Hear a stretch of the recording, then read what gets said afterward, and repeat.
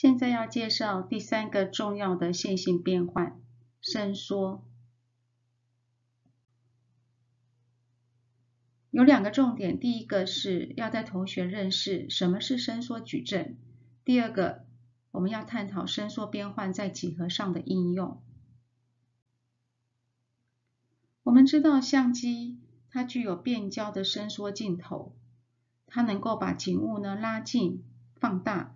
也可以推远、缩小。数学上呢也有类似的情形，比方说同学以前在学到抛物线的时候，我们可以把抛物线上点呢沿着 x 轴方向去做伸缩，也可以沿着 y 轴方向去做伸缩。同样的，其他的函数，比方说三角函数，三角函数也可以做 x 轴或 y 轴上的伸缩。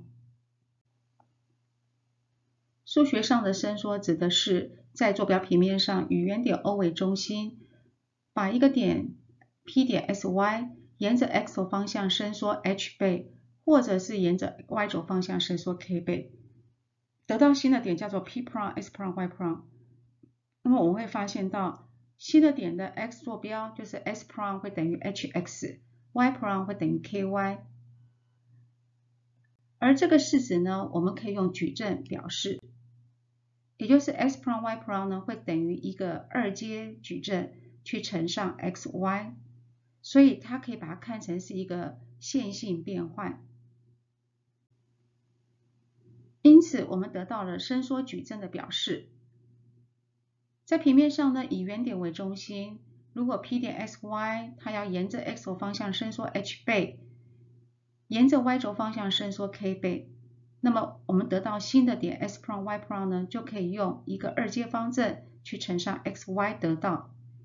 这时候的二阶方阵 h 零零 k 就称为是伸缩矩阵。现在我们来练习伸缩变换。图形中呢有个红色的正方形。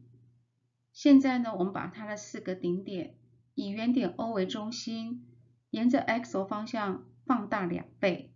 再沿着 y 轴方向缩小为三分之一倍，那么我们会得到新的一个长方形 a prime b prime c prime d prime。那么现在呢，请同学来算算看，这蓝色长方形的面积是多少？首先我们可以发现到，它沿着 x 轴放大两倍，沿着 y 轴缩为三分之一倍，所以我们可以得到它的伸缩矩阵就是。二零零三分之一。如果把这伸缩矩阵乘上一个 A 点的坐标，我们就会得到 A prime 点。同样的方法呢，我们也可以算出 B 变换之后的 B prime 点，C 变换之后的 C prime 点，以及 D 变换之后的 D prime 点。得到新的四个点之后呢，我们就可以计算出它的长是二十四，宽是四。所以面积就是二十四乘以四等于九十六。好，我们来看看这道练习题。直角坐标系上有一个直角三角形 OAB。题目呢要我们把这三个顶点呢分别以原点 O 为中心，沿着 x 轴方向缩为二分之一倍，沿着 y 轴方向放大为三倍，得到一个新的三角形 OPRON，APRON，BPROM prime A prime B prime。请同学呢来算算看，这个三角形面积应该是多少？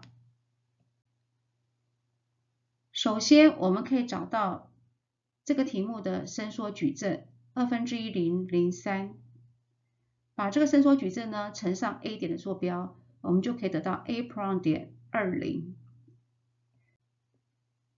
同样的方法，我们把 B 点零二代入，原点零零代入。就可以得到 B prime 点零六，O prime 点还是跟原点一样是零零。接着我们就可以看出三角形 O prime A prime B prime 的底是二，高是六，所以呢，我们可以计算出它的面积，底乘高除以二等于六。有时候依照问题的需要，我们会做连续两次的线性变换。现在就让我们来看。下面这道例题，平面上已经给了一个等腰直角三角形，我们知道 O 点是在零零，A 点是在五二。从锐角是四十五度，以及 OB 的长度呢是根号二倍的 OA 长。那么我们利用线性变换，可以去解释这个 B 点。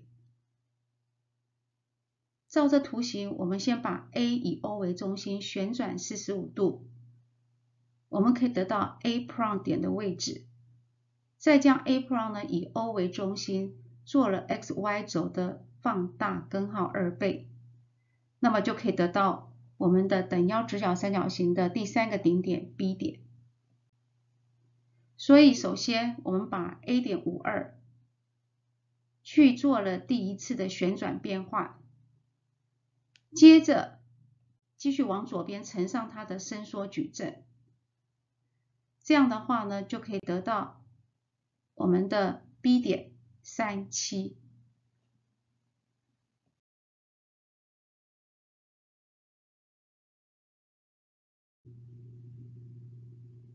我们继续看这道练习题。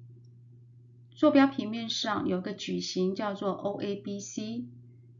如果我们知道 O 点在原点，A 点在二负三。另外，我们也知道这长方形的长宽比是三比一。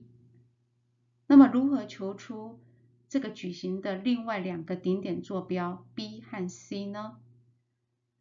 好，我们用线性变换来看这个 C 点。首先，我们可以把 A 点以 O 为中心旋转了九十度，那么会发现到它会旋转到 A prime 点。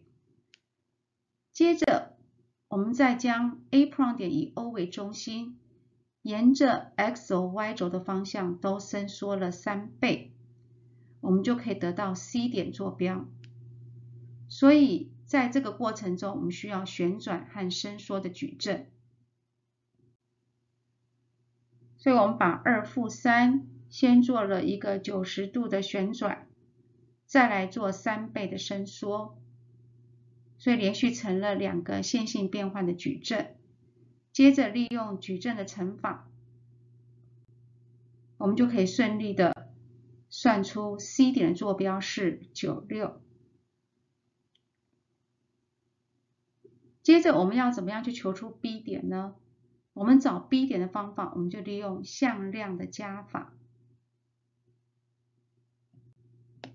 也就是我们可以看到，OB 向量可以写成 OA 向量加上 OC 向量，利用向量加法，我们就得到 B 点坐标是十一三。